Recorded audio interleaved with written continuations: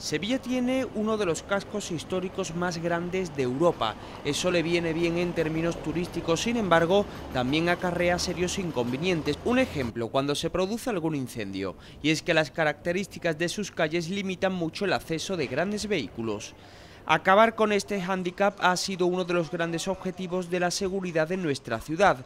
Hoy por fin se ha conocido el cumplimiento de este reto. El ayuntamiento ha presentado el mejor vehículo, según ha dicho, que existe en España para la extinción de incendios. Se trata de dos vehículos de menos de 2 metros de ancho, pero que permiten almacenar hasta 800 litros de agua cada uno, algo nunca conseguido hasta ahora. Son dos vehículos que, como digo, permiten acceder al centro con una capacidad de 800 litros de agua que en un futuro pretendemos ampliar en nuevas adquisiciones y con cinco ocupantes, lo que nos permite pues, llegar a un servicio, un incendio, como son dos, pues estamos hablando de 10 operativos más los vehículos de mando, si nos garantiza totalmente en poder eh, extinguir un incendio en vivienda.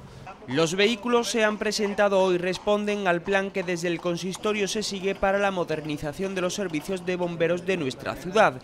El siguiente paso, según ha informado el delegado de seguridad, pasa por las instalaciones de los cuatro parques de bomberos con los que cuenta Sevilla e iremos ahora próximamente a las instalaciones que tenemos de los cuatro parques, vamos a actuar sobre el parque de Carretera Amarilla e iremos complementando y modernizando también el resto de parques, como el de San Bernardo, que también necesita cierta adecuación. Liberaremos con la construcción nueva que se va a hacer en la Carretera Amarilla un espacio, porque sabéis, y algunas veces ya lo he manifestado, que queremos también abarcar en sus instalaciones un futuro museo también de bomberos. Precisamente el estado de los parques es la principal demanda que se hace desde el Sindicato Andaluz de Bomberos.